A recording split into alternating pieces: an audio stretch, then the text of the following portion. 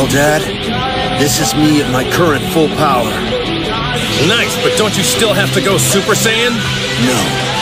I have a new goal now. An ultimate form that no Saiyan has achieved before.